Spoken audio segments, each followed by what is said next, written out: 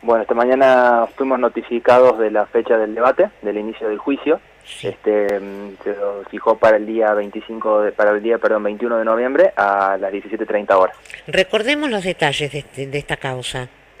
Eh, bueno, el señor Pioli se encuentra imputado a la fecha de dos delitos. Por un lado, coacciones, este, el delito de coacción, y por otro lado, de lesiones leves calificadas por el vínculo. Em, justamente en perjuicio de quien en su momento fue su pareja, la señorita Paula Sánchez Frega.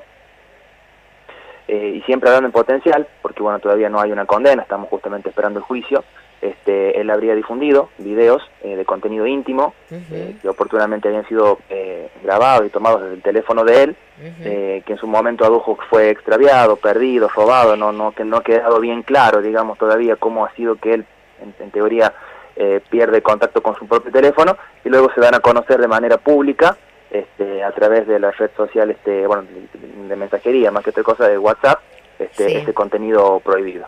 Eh, previo a todo había también, eh, ante el desgaste de la relación, este, amenazas por parte del señor Pioli, eh, en, perjuicio de Paula, diciéndole que si ella no volvía con él, él era capaz de, de hacer público el material. Y finalmente se hizo público.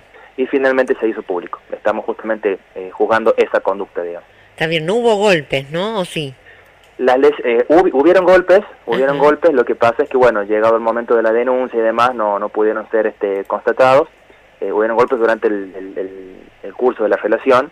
el tema de las lesiones eh, se le imputa este, al señor Pioli por, este, bueno, obviamente que por, por este decisión, y así lo solicitó la Fiscalía en su momento, teniendo en consideración eh, los daños psicológicos que todo este hecho produjo en mi, en mi cliente, en Paula.